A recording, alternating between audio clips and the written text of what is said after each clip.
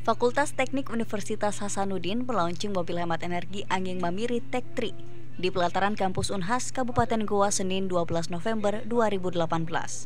Mobil hemat energi gagasan mahasiswa tim agresif HMM FT Unhas ini lolos dalam seleksi dan akan mengikuti lomba di kelas urban bensin.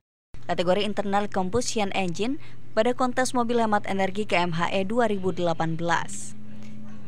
Kontes tersebut diikuti oleh seluruh perguruan tinggi Indonesia yang digelar oleh Dikti di Universitas Negeri Padang.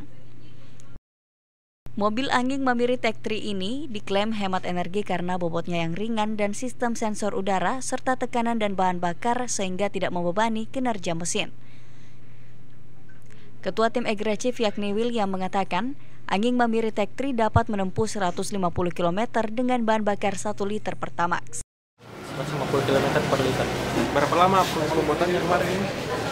Untuk proses manufacturnya makan waktu 6 bulan. Kita pilih materi yang paling ringan, tapi tidak menghindarkan sisi-sisi kekuatan, keamanan, kekampuan. Bahan bakar yang digunakan apa, apa ini? Bahan bakarnya nanti diatur di regulasi pertama. Mobil hemat energi angin Mamiri Tech 3 ini dikerjakan selama enam bulan dan ditargetkan akan bersaing di lima besar dalam kontes mobil hemat energi 2018 bersama dengan universitas ternama seperti ITB. Wawan Setiawan, Fajar TV dan Fajar Radio melaporkan.